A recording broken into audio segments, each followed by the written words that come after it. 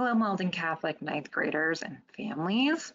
Um, my name is Caitlin Oates. I'm the Director of School and College Counseling here at Malden Catholic, and I'm going to talk you through course selection uh, for 2021, what to expect and what to do.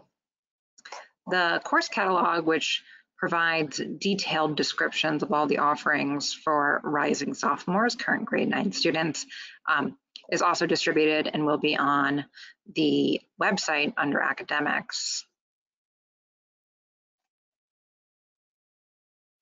So, um, what's the timeline? Well, you're gonna um, meet with your school counselor. So for grade nine boys, that will be Brother Kremen.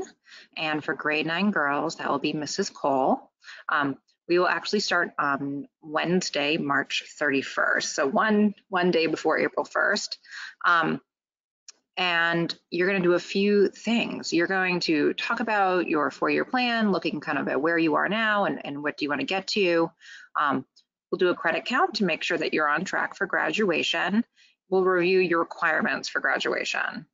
So we're going to review your core course placements. So um, Brother Kremen or Mrs. Cole will talk to you about um, if you have any expected level changes for your sophomore year. Um, and most importantly, and then what you need to do the most prep for is rank your elective choices.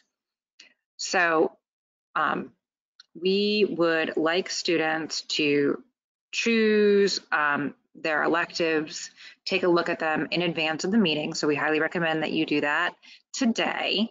Um, so you're gonna need to look at the course catalog to get an understanding of what your elective choices are.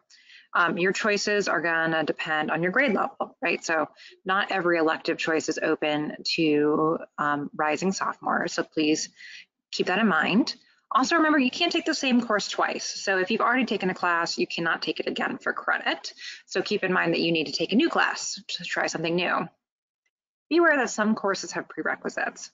Very few at the sophomore level have prerequisites, but keep in mind that a prerequisite is a course that you have to take and complete successfully before you can move on to the next one.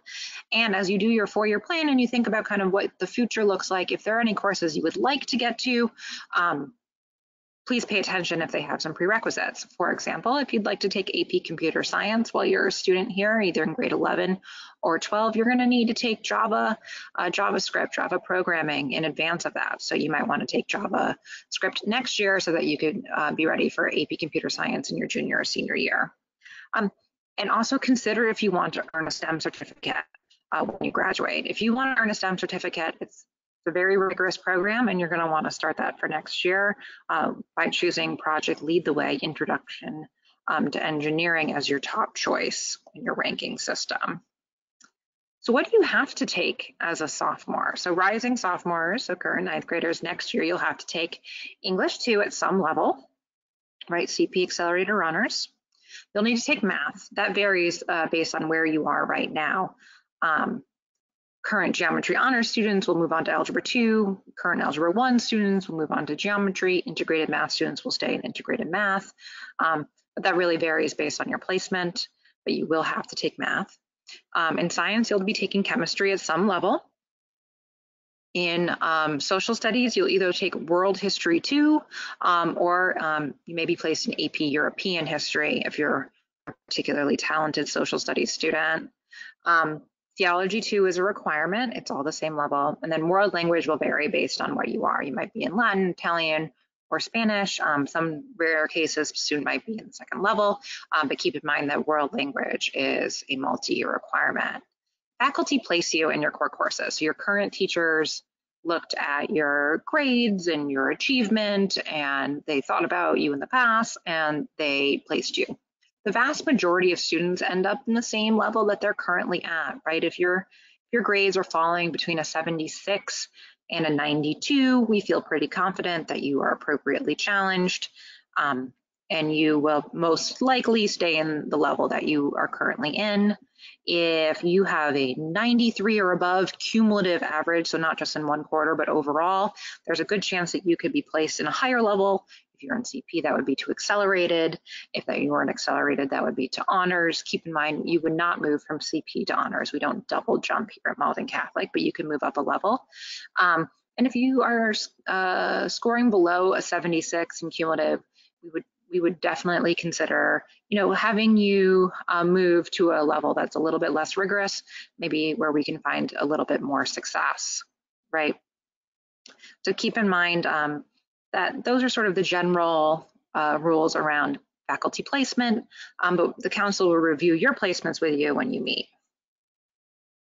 So what do you need to prepare? We need you to really look at the course catalog and consider your elective options. Um? Here we go. So the first thing you need to decide as a grade 10 a future student um, is whether or not you want to pursue a STEM certificate. So right in the front of the course catalog are the parameters for um, how to do that. The much simplest way is to make sure that you take a STEM-based elective as a sophomore to get you started in that. So if the answer to I want to pursue a STEM uh, certificate is a yes, um, we're gonna have you put down PLT, um, intro to engineering design as your number one elective choice. That course is pretty much required to get the STEM certificate, so keep in mind that that would be number one.